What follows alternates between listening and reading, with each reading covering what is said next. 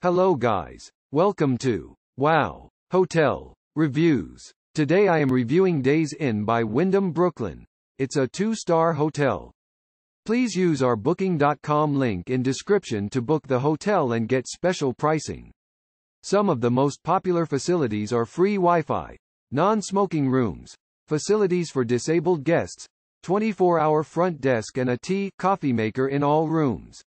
Days Inn by Wyndham Brooklyn offers accommodations in Brooklyn, 3.2 miles from Brooklyn Cruise Terminal. This Brooklyn hotel is only 1,050 feet from 36th Street subway station.